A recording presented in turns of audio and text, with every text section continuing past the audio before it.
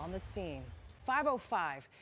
And a man wanted for assaulting an NYPD officer in Washington Heights last week is now facing charges. 21 year old Francis Cardona was arrested just yesterday. He's accused of hitting that officer with his car during a traffic stop. The incident happened near Harlem River Drive and West 159th Street.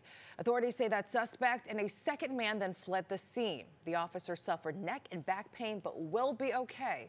The suspect is facing a slew of charges, including assault and criminal possession of stolen property.